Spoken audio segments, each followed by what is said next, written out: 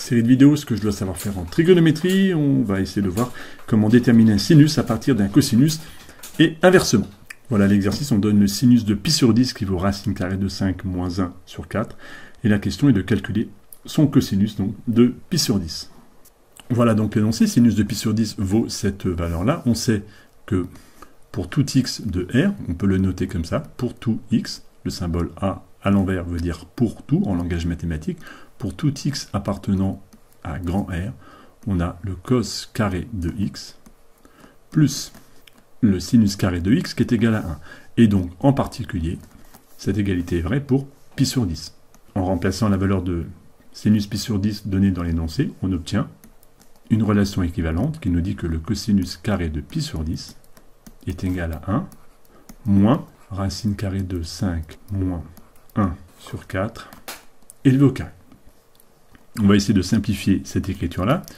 On reconnaît ici une petite identité remarquable qu'on va essayer de développer. La racine carrée de 5 élevé au carré, ça va faire 5, moins 2 racine carrée de 5 plus 1, le tout divisé par le carré de 4 qui va faire 16. Il devient en mettant le même dénominateur, 16 16e, 5 plus 1, 6.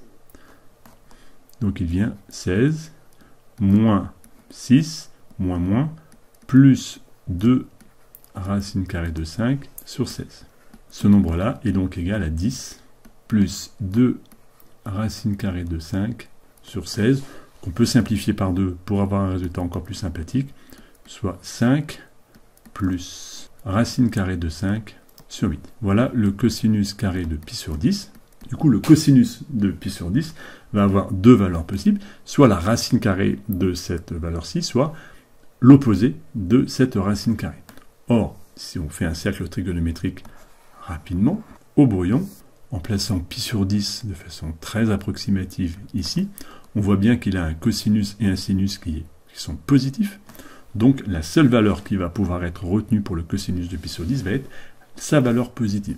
Une façon de l'écrire proprement est de dire que le cosinus pi sur 10 est supérieur à 0 car pi sur 10 appartient à l'intervalle 0 pi sur 2 et que c'est une propriété du cosinus que de dire que sur cet intervalle-là, le cosinus est positif.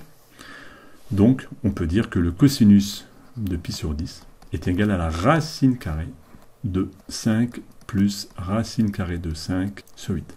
Cet exercice est terminé.